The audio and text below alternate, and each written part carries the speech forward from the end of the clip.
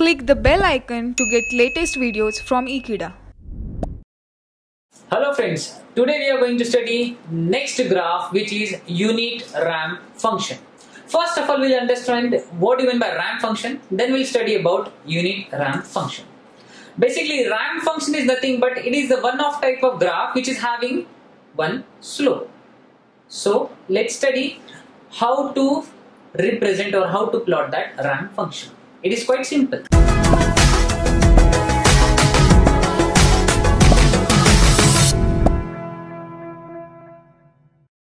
This is a unit ramp function. It is not a unit, basically it is only a ramp function. The reason why it is not a unit, because if the slope value is 1, then you can say that this graph is unit ramp function. Otherwise it is only a ramp function. If the slope value is 1, then it is a unit ramp. Means what?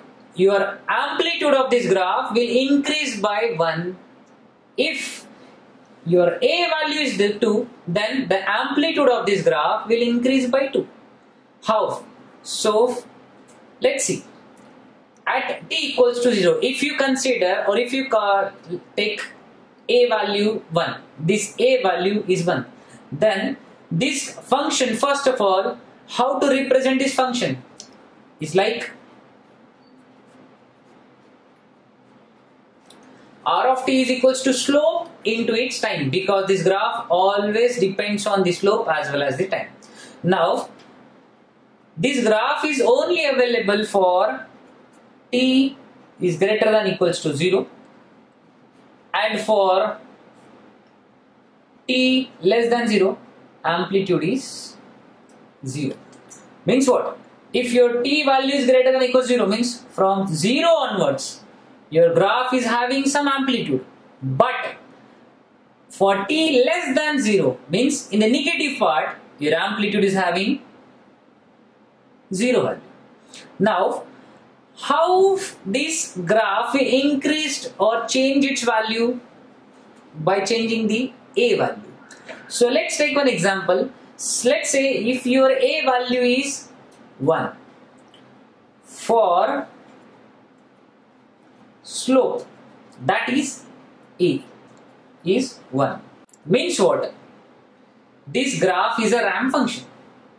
Now if we change the value of slope that is right now I've considered the slope value is 1 then your r of t value changes its amplitude by 1 1 1 now how? Let's see for t equals to 0 means what I have placed I have replaced this t value by 0. Similarly, in this function also, this t value also becomes 0. So total product becomes, this amplitude is a and the t value is 0. So total answer is 0. So can I just look at here, at the t equals to 0, if you consider or if you take any value of a, then this graph always produce t value 0. But now let's move on to next.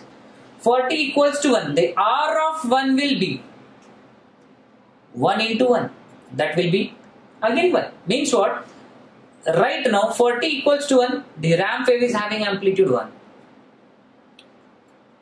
and now for t is equals to 2 this I'll write r of 2 and now it is 2 into 1 is 2 so you can see as the time increases accordingly your amplitude also increases now at t is equal to 0, amplitude is 0. At t equals to 1, amplitude is also 1. For t equals to 3, 2, amplitude is 2. And so on. Means what? For t equals to 3, amplitude is also 3. So you can see this amplitude is increased by 1, 1, 1.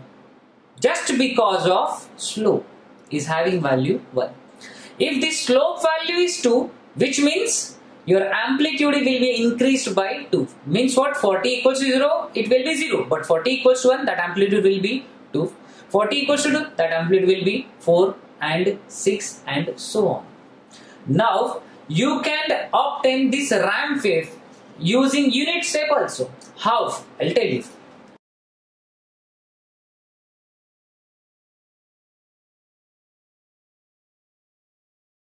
If you multiply t with a unit step, then your graph will always produce a unit ramp function.